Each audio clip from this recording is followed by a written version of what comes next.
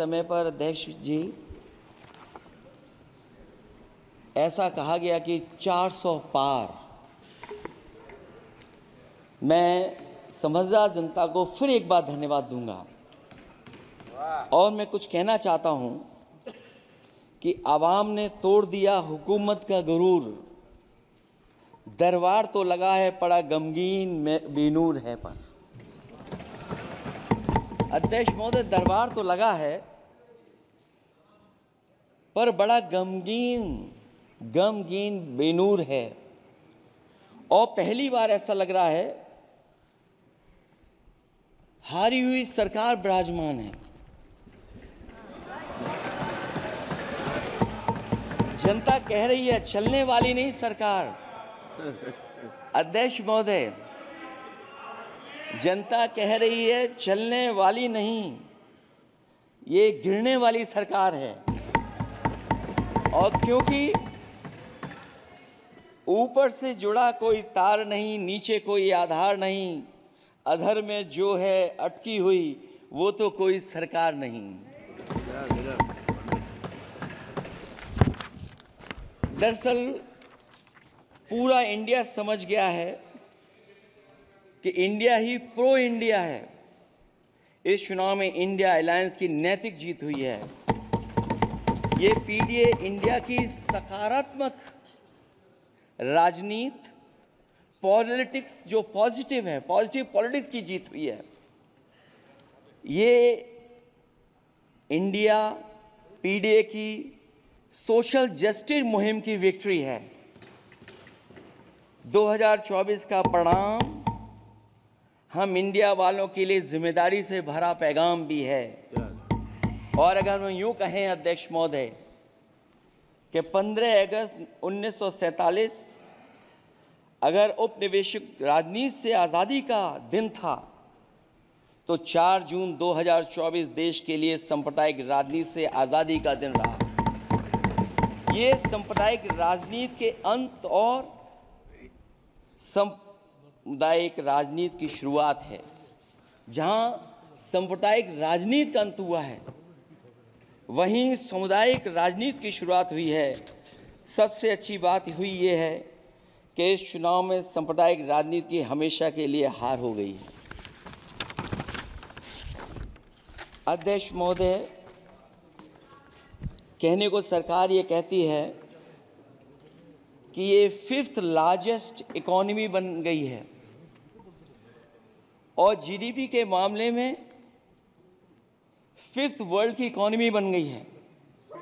लेकिन अध्यक्ष मोदी, ये सरकार क्यों छिपाती है? कि अगर ये हमारी सबसे लार्जेस्ट इकोनॉमी अगर हम पाँचवें नंबर पर हैं तो हमारे देश की पर कैपिटा इनकम प्रति व्यक्ति आय हमारे किस स्थान पर पहुँची है? और हम लोगों ने तो अध्यक्ष महोदय देखा है कि अगर दिल्ली की सरकार ने कहा होगा कि पाँच ट्रिलियन डॉलर की इकोनॉमी बनेगी तो जहाँ से प्रधानमंत्री जी चुन करके आते हैं। वहाँ का प्रदेश के सरकार भी कह रहे कि हम वन ट्रिलियन डॉलर इकॉनमी बना लेंगे। देश की इकॉनमी कहाँ पहुँच गई पर कैपिटा इनकम क्या है? लेकिन अगर उत्तर प्रदेश की इकॉनमी को अगर वन ट्रिलियन डॉलर की इकॉनमी बनना है तो कम से कम 35 परसेंट की ग्रोथ चाहिए। मुझे नहीं लगता है कि 35 परसेंट की ग्रोथ उत्तर प्रदेश पा पाएगा। हम हंगर इंडेक्स में कहाँ खड़े हैं? नीचे से कहाँ हैं? जो फिफ्थ लार्जेस्ट इकोनॉमी की बात कर रहे हैं, वो इनक्वलिटी के पैरामीटर पे कहाँ खड़े हैं? वो हैप्पीनेस इंडेक्स में कहाँ खड़े हैं? और जो लोग चुनाव को अपने तरीके से मोड़ते हैं, मैं उन्हें कहना चाहता हूँ कि अध्यक्ष महोदय, इस चुनाव के परिणाम ने तोड़ने वाली राजनीति को तोड़ दिया है और जोड़ने वाली राजनीति की जीत हुई है। इस चुनाव में धन धन, छल, बल की नकारात्मक राजनीति की शिकस्त हुई है। ये चुनाव जो देश का हुआ, ये सकारात्मक राजनीति का नया दौर शुरू हुआ है। इस बार प्रो कॉन्स्टिट्यूशन वालों की जीत हुई है। हम मानते हैं संविधान ही संजीवनी है, उसी की जीत हुई है। ये संविधान मंथन में संविधान रक्षकों की जीत हुई है। अब ऊपर से नीचे के राजनीति का अंत हो गया है। अब नीचे से जो समाज की जो आवाज़ उठेगी, वही राजनीति का आधार बनेगी। मैं कहना चाहता हूँ कि देश किसी किसी की व्यक्तिगत महत्वाकांक्षा से नहीं जन आकांक्षा से चलेगा। मतलब अब मनमर्जी नहीं जनमर्जी चलेगी।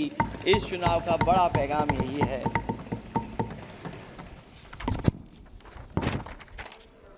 अध्यक्ष महोदय, बहुत सी बातें हुई हैं। अगर उत्तर प्रदेश की बात ना हो, क्योंकि अध्यक्ष महोदय सबसे बड़ा प्रदेश जहाँ है उसने हर बार दूसरे दल को समर्थन देकर के सरकार बनाई। मैं उन्हीं लोगों से कहना चाहता हूँ कि लोग क्यूटो की फ़ोटो लेकर बनारस की गलियों से लेकर के गंगा जी तक ढूंढ रहे हैं। उनको लगता है जिस दिन माँ गंगा साफ़ हो जाएँगी, शायद उस दिन कहीं क्यूटो उसकी गोद में कहीं मिल जाएगा। बनारसी लोग चाहते हैं कि कोई गंगा जी के भी तल में उतरकर उसका दर्द भी जाने।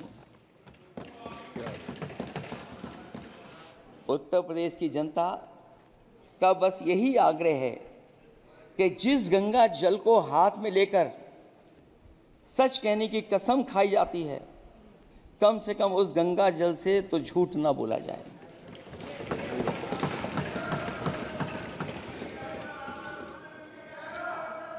जहाँ विकास के नाम पर खरबों रुपए की लूट का राज खोलते भ्रष्टाचार के गड्ढे प्रदेश का नाम खराब कर रहे हैं। वहीं पहली बारिश में ही टपकती हुई छत और गिर चुकी स्टेशन की दीवार बेईमानी की निशानी बन गई है। अध्यक्ष महोदय, विकास का ढिढोरा पीटने वाले इस विनाश की ज़िम्मेदारी कब लेंगे? और रही सच्चे विकास की बात तो हमने जो सड़क बनाई उस पर हवाई जहाज़ उतरे थे और उत्तर प्रदेश की मुख्य नगरी में सड़कों पर नाव उतरी हैं। और अभी बारिश और हो जाएगी तो नाव से भी चलना पड़ेगा। यही स्मार्ट सिटी के जुमले का भी हाल है। न तो जाम से छुटकारा मिला, न बुनियादी सुविधाओं से कोई निजात मिली। न कोई बुनियादी सुविधाएँ मिल पाई हैं। मुझे याद है अध्यक्ष महोदय, देश के प्रधान सांसद जी ने अनाथ पशुओं के बारे में बहुत कुछ कहा था। अनाथ पशुओं की समस्या से छुटकारा दिलवाने के लिए कब वादा किया हुआ, लेकिन कई चुनाव बीत गए हैं। अभी तक गन्ने का भुगतान दो हफ़्ते का वचन जो दिया था। कहाँ दिया था? अब तो वचन देने वाले को भी याद नहीं है। हर बात को जुमला बना देने वाले लोगों के ऊपर से जनता का भरोसा उठ गया है। इसीलिए बहुमत की सरकार नहीं है। ये सहयोग से चलने वाली सरकार है। डबल इंजन के नाम पर उत्तर प्रदेश को टकराहट के सिवा कुछ हासिल नहीं हुआ है। उत्तर प्रदेश में प्रभुत्व की लड़ाई दो लोगों को आपस में लड़ा रही है, लेकिन उसकी मार जनता को सता रही है। पिछले दस सालों की उपलब्धि बस इतनी रही कि एक शिक्षा परीक्षा माफिया का जन्म हुआ। अध्यक्ष महोदय, जिस समय चुनाव में थे और उत्तर प्रदेश में वो हालात देखे हैं कि नौजवान जब भी तैयारी कर करके जाता था और परीक्षा दे करके लौटता था तो उसको पता लगता था कि पेपर लीक हो गया। और उत्तर प्रदेश में केवल एक पेपर लीक नहीं हुआ है। जितनी भी परीक्षाएँ हुई हैं, सब पेपर लीक हुए हैं। केवल उत्तर प्रदेश ही नहीं, मैं माननीय सांसद की तरफ़ से सुन रहा था। कई ऐसे प्रदेश हैं जहाँ पर परीक्षाएँ देने तो बच्चे गए, लेकिन वहाँ भी पेपर लीक हो गया। और अभी जब 4 जून को रिज़ल्ट आया, उसके बाद जो बात उठी है, देश की सबसे प्रेस्टिजियस परीक्षा उसका भी पेपर लीक हो गया। और आखिरकार ये पेपर लीक हो क्यों रहा है? सच्चाई तो ये है कि ये सरकार पेपर लीक इसलिए करा रही है कि सरकार नौकरी नहीं देना चाहती, रोज़गार नहीं देना चाहती, उन नौजवानों का भविष्य नहीं बनने देना चाहती। पिछले दस सालों की उपलब्धि बस इतनी रही है कि एक शिक्षा परीक्षा माफिया का जन्म हुआ है, जिसने तथाकथित अमृत काल में युवाओं के भविष्य की आशाओं को ही ज़रूर, आशाओं को ही जहर दे दिया है। जो सरकार उम्मीद को मार दे वन तो वर्तमान को सुधार सकती है, ना भविष्य को संभाल सकती है। सरकार आशा का प्रतीक होनी चाहिए, निराशा का नहीं। जनता चाहती कि हर समस्या के लिए बीते कल की को जिम्मेदार ठहराने ठहराने के बहाने को सरकार छोड़े और आने वाले कल की बात करें। अगले हज़ार साल के झूठे सपने दिखाने वाले, अगले महीने होने वाली परीक्षाओं के लीक न होने की गारंटी कब लेंगे? जनता अब न तो किसी बहकामे में आएगी और न किसी के बहलावे फुसलावे में आएगी। जो लोग कहते हैं कि अमृत काल की बात करने वाले, जनता का जागरण काल आ गया है। आज इस सदन में नए राजनीतिक जागरण के अनेक प्रतिनिधि बैठे हैं। अब जब पुनर्निर्माण, अब जब बात होगी तो सच्ची बात होगी और जनता को पूरी सच्चाई के साथ हम लोग अपनी ज़िम्मेदारी के साथ बात रखेंगे।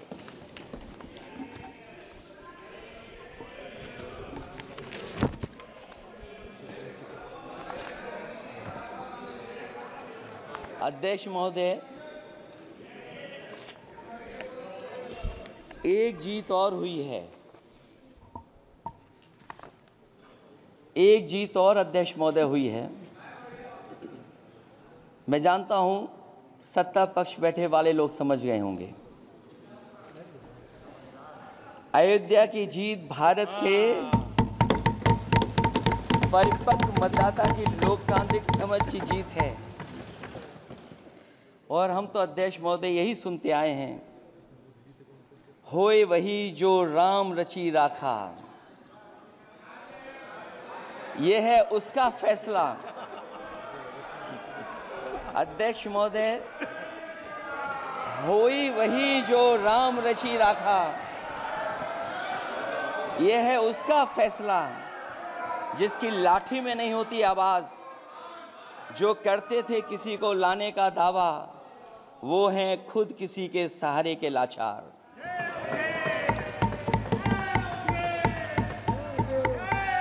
अध्यक्ष महोदय, मैं फिर कह देना चाहता हूँ हो वही जो राम रची राखा। यह है उसका फैसला जिसकी लाठी में नहीं होती आवाज़। जो करते थे किसी को लाने का दावा, वो हैं खुद किसी के सहारे के लाचार। हम अयोध्या से लाए हैं उनके प्रेम का पैगाम। हम अयोध्या से लाए हैं उनके प्रेम का पैगाम, जो सच्चे मन से करते हैं सबका कल्याण। सदियों में जन जन जन जन गाता है जिनके गान अभय दान देती जिनकी मंद मंद मुस्कान, मानवता के लिए उठता जिनका तीर कमान अध्यक्ष महोदय, जो असत्य पर सत्य की जीत का है नाम उफंती नदी पर जो बांधे मर्यादा के बाँध वो है अवध के राजा पुरुषोत्तम प्रभु राम हम अयोध्या से लाए हैं उनके प्रेम का पैगाम।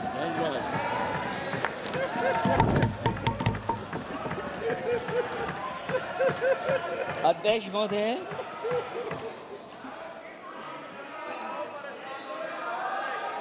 अध्यक्ष महोदय, कुछ बातें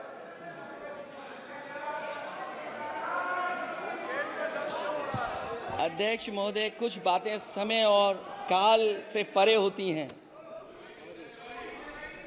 इसलिए आज यहाँ उत्तर प्रदेश के सदन में पढ़ा गया, एक शेर याद आ गया, जो तब सही था, अब और सही साबित हो रहा है। इजाज़त हो अध्यक्ष जी तो मैं अर्ज़ करूँ। हजूर आला आज तक खामोश बैठे इसी गम में।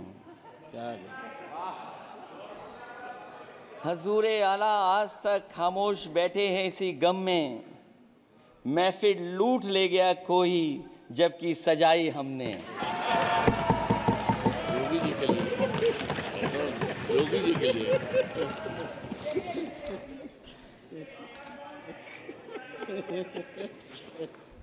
अध्यक्ष महोदय।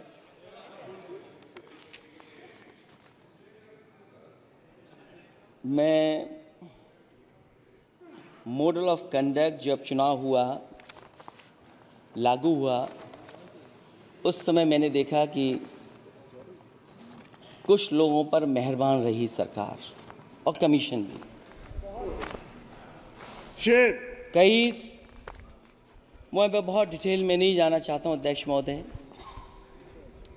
लेकिन कहीं ना कहीं प्रश्न उस संस्था पे भी लगा है। और अगर उस संस्था पर प्रश्न लगा है तो लगाने वाली सरकार की वजह से लगा है। इसलिए अगर निष्पक्ष होगी वो संस्था तो न केवल हमारा लोकतंत्र स्वस्थ होगा, बल्कि हमारे लोकतंत्र और मज़बूत दुनिया में दिखाई देगा। अध्यक्ष महोदय ईवीएम पे मुझे कल भी भरोसा नहीं था, आज भी नहीं भरोसा। मैं 80 के 80 सीट जीत जाऊँ, तब भी नहीं भरोसा। और मैंने अपने चुनाव में कहा था, अध्यक्ष महोदय, कि ईवीएम से जीत करके ईवीएम हटाने का काम करेंगे। न ईवीएम का मुद्दा मरा है, न जाएगा खत्म। जब तक ईवीएम नहीं हटेगी, हम समाजवादी लोग उस बात पर अड़ग रहेंगे। उत्तर प्रदेश अध्यक्ष महोदय, वो प्रदेश है जिसने सरकार बीजेपी की बनवाई, एक बार नहीं, दो बार बनवाई। और उसी उत्तर प्रदेश के साथ कितना बड़ा भेदभाव। उत्तर प्रदेश के साथ बड़ा भेदभाव। मुझे याद है वो दिन जब प्रधानमंत्री जी एयरफोर्स के सबसे भारी वाहन हवाई जहाज़ से उतरे थे सड़क पर। वो अलग बात है कि उस प्रदेश के मुख्यमंत्री उनके साथ नहीं बैठ पाए थे। लेकिन वो एक्सप्रेस वे जो बना था, और आज भी जो उत्तर प्रदेश में बन रहे हैं, वो उत्तर प्रदेश के बजट से बन रहे हैं। लेकिन दिल्ली की तरफ़ से कोई एक्सप्रेस वे अभी नहीं दिया गया है। न केवल इंफ्रास्ट्रक्चर में भेदभाव हुआ है, बल्कि हमें याद है कि प्रधानमंत्री जी ने बड़े पैमाने पे गाँव गोद लिए थे। और सोचिए अगर, देश के प्रधान सांसद अगर किसी गाँव को गोद ले लें और उस गाँव की तस्वीर न बदले तो शायद मैं नहीं समझता हूँ कि किसी गाँव की तस्वीर दस साल में बदली होगी। मुझे वो गाँव जिसको उन्होंने गोद लिया, जो प्रधानमंत्री जी की आदर्श योजना थी, उसके तहत जो गोद लिया गया था गाँव वो पाँच वर्ष पहले खूब शोर हुआ था कि बनारस शहर की तर, तरह डोमरी में चमचमाने लगे गया एक गाँव। हकीकत में कुछ नहीं हुआ। उसकी दुर्दशा वैसी की वैसी है। जैसे था गाँव वैसे ही का वैसा है। टूटी सड़कें कच्ची पगडंडियाँ उखड़े और टूटे हुए ईंट के खंजे बदहाल हैंडपम्प पावर लूम और पंखे के जा, जाली के कारखाने को आखिर कब तक रफ्तार मिलेगी जो उस गाँव में काम होता था? लोग करते थे। खाली पड़े रसोई गैस के सिलेंडर। अंधाधुंध बिजली कटौती के बीच इस गाँव के लोगों को हर सुबह मजदूरी की कभी ना खत्म होने वाली तलाश आखिर कब पूरी होगी? तो सोचिए एक गाँव की तस्वीर ये है जो गाँव कभी गोद लिया गया था उस गाँव की भी तस्वीर नहीं सुधर पाई है। जो भाजपा के स्मार्ट सिटी के झूठे सपने में गाँव के लिए कोई जगह नहीं है। अपने गाँव गोद लेने की जो बात कही थी, क्या वो भी जुमला था? अध्यक्ष जी, पता नहीं जिस गाँव को गोद लिया था, उसका नाम भी किसी को याद है कि नहीं? मैं नाम पूछ करके किसी को शर्मिंदा नहीं करूँगा, क्योंकि अगर नाम याद है तो ये तो और भी बुरी बात है कि अपने नाम याद रखने के बावजूद भी कुछ नहीं किया। जिसे गोद लिया जाता है उसे अनाथ बनाकर छोड़ देना अच्छी बात नहीं है। और अगर तस्वीर अध्यक्ष महोदय बदली हो दस साल में उन तमाम गोद लिए हुए गाँवों की तो मैं सत्ता पक्ष के लोगों से कहूँगा ज़रूर इस सदन में बात रखें। ज़रूर बताएँ आप। जो बात कभी अध्यक्ष महोदय कास्ट सेंसस की उठी थी, हम उस कास्ट सेंसस के पक्ष में हैं कि बिना कास्ट सेंसस के सामाजिक न्याय संभव नहीं है। सबको हक दिला पाना मुश्किल है। अध्यक्ष महोदय, राष्ट्रपति जी के अभिभाषण में अग्निवीर को लेकर के जो चिंता विपक्ष की थी और देश के नौजवानों की थी, वो चिंता वैसी की वैसी बनी है। अध्यक्ष महोदय, मैं ये कहना चाहता हूँ, मैं खुद मिलिट्री स्कूल से पढ़ा हूँ। मेरे साथ के बहुत बड़े पैमाने पे लोग फौज में हैं। मैंने समय समय पे जो मेरे साथ पढ़े जो सीनियर थे, उनसे भी जानकारी हासिल की है। बड़े बड़े ऑफिसर से मैंने पूछा है, वो शायद आपको न बता पाएँ, लेकिन दबी ज़ुबान में उन्होंने कहा है कि देश की सुरक्षा के साथ अग्निवीर जैसी व्यवस्था लागू करने से समझौता हो रहा है। अध्यक्ष महोदय, किसी भी देश की सबसे बड़ी प्राथमिकता अगर कोई है तो वो देश की सीमाओं की सुरक्षा है। अग्निवीर जैसी व्यवस्था से कभी संभव नहीं है। अध्यक्ष महोदय, हम अग्निवीर व्यवस्था को कभी स्वीकार नहीं कर सकते हैं। आज नहीं, कल कल नहीं, बाद में। जब कभी भी सत्ता में इंडिया गठबंधन आएगा, अग्निवीर व्यवस्था हमेशा हमेशा के लिए खत्म हो जाएगी। अध्यक्ष महोदय, जिन्होंने कहा कि हम आय किसानों की दोगुनी कर देंगे। आज किसान पूरा देश का देख रहा है कि उसकी आय कहाँ दोगुनी हो गई। और जिस तरह महँगाई बढ़ी है, सरकार बताए कि महँगाई इस बढ़े पे उसकी आय कितनी होनी चाहिए। और जो इंफ्रास्ट्रक्चर की बड़ी बड़ी बातें की गई थी कि एमएसपी लागू करने के लिए एग्रीकल्चर सेक्टर का इंफ्रास्ट्रक्चर तैयार होगा। लेकिन जहाँ तक मैंने उत्तर प्रदेश में देखा है, अगर इस सरकार में एक भी नई मंडी बनी हो तो मुझे सरकार बता दे। अध्यक्ष महोदय, जो इंफ्रास्ट्रक्चर एग्रीकल्चर सेक्टर में बनाने की बड़ी बात कही थी, अगर सरकार की तरफ़ से एक भी मंडी दस साल में बनी हो तो ज़रूर सरकार बताए जो सरकार मंडी नहीं बना सकती है उस पर एमएसपी का भरोसा कैसे कर सकते हैं? जिन्होंने एमएसपी का भरोसा दिलाया था। हम अध्यक्ष महोदय आपके स, आपके माध्यम से यही कहेंगे कि जो राष्ट्रपति के अभिभाषण में लीगल गारंटी एमएसपी को मिलनी चाहिए थी वो क्रॉप्स को नहीं मिली है न केवल फ़सलों को मिले बल्कि हॉर्टिकल्चर क्रॉप्स को भी एमएसपी देने का फैसला हो जिससे कि हमारा किसान खुशहाल हो सके।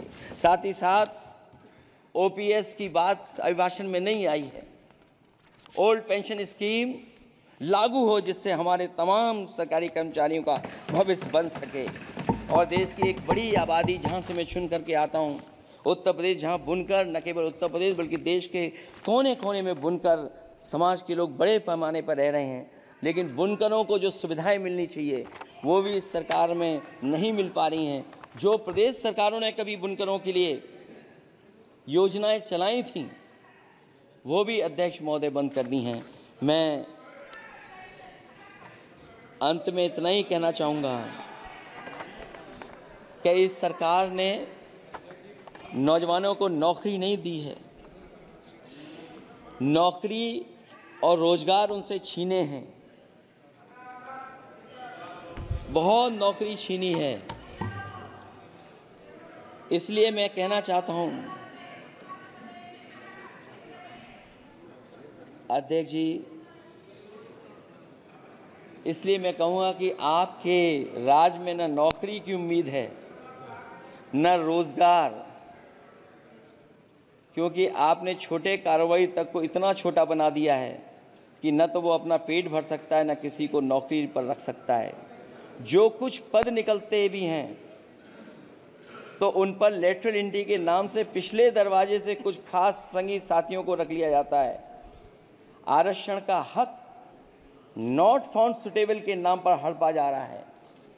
और अध्यक्ष महोदय, आरक्षण के साथ इतनी खिलवाड़ किसी सरकार ने नहीं की होगी जितनी खिलवाड़ इस सरकार ने की है। जहाँ सरकारी नौकरियाँ नहीं दी जा रही हैं और सरकारी नौकरियाँ इसलिए नहीं दी जा रही हैं क्योंकि उन्हें आरक्षण देना पड़ेगा। जिस प्रदेश से मैं आता हूँ, जिस प्रदेश से मैं आता हूँ, वहाँ सबसे बड़े पैमाने पे नौजवान बेरोजगार है। और पिछले दस साल में जो क्वेश्चन, जो पेपर उन्होंने लीक कराए हैं वो इसीलिए कराए क्योंकि नौकरी ना देनी पड़े और अगर नौकरी देनी पड़ेगी तो उन्हें आरक्षण भी देना पड़ेगा। ये जानबूझ करके सरकार नौकरी और आरक्षण के साथ खिलवाड़ कर रही है।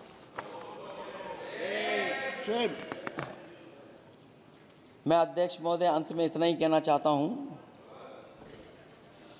आशा है ये सरकार तब तक चलेगी तब तक उसके केंद्र में इस देश का हर एक गरीब शोषित वंचित पीड़ित पिछड़ा दलित अल्पसंख्यक आदिवासी महिला युवा छोटा कारोबारी, ईमानदार नौकरी पेशा, आम आदमी और कर्मचारी अधिकारी, मजदूर और किसान होगा, ना कि धनवान होगा और शासन के आधार पर संविधान होगा। वह जुमलों की जगह सच में महँगाई, बेरोजगारी, भ्रष्टाचार, गरीबी, भुखमरी, संप्रदाय हिंसा, दलित व महिला उत्पीड़न, सामाजिक अन्याय जैसे मूलभूत मुद्दों का समाधान होगा। और भोजन, बिजली, पानी, दवाई, पढ़ाई जैसी बुनियादी ज़रूरतों के लिए कागज़ी योजनाओं की जगह सच में इंतज़ाम होगा। मैं एक बार फिर उत्तर प्रदेश की समझदार जनता द्वारा सबसे बड़ी पार्टी चुने जाने के साथ साथ इंडिया गठबंधन, समाजवादी पार्टी या कांग्रेस को सबसे ज़्यादा सीटें जिताई, उसके लिए मैं उत्तर प्रदेश की जनता